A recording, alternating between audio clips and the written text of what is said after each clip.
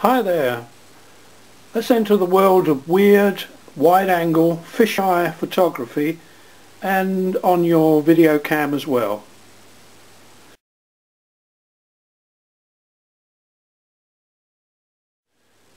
Uh, these are a couple of uh, commercial wide-angle units. This is a semi-fisheye, very heavy, much heavier than the camcorder and that sort of goes on like that and gives a view something like that. This is a cine version, it sort of doubles the field of view and gives a sort of view something like that.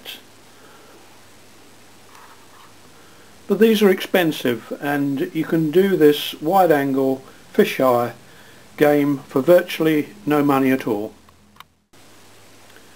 And now for the science bit.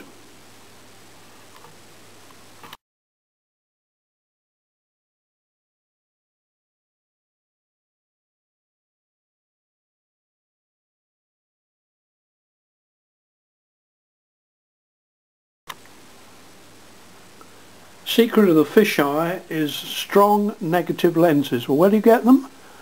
From the charity shop. Just go down there and somehow acquire some of these pebbles. Just need to cut the thing to release the lens and they will go on the front like that. However, they're out of focus as you can see. So there's a little trick you need to use with your digital cam. That is the close-up option. The second alternative, if the cam doesn't have a close-up feature, is to use a positive lens immediately in front of the uh, camera lens and the negative lens a little further away until they're both in focus. Then you can suck in up to 150 to 180 degree field of view.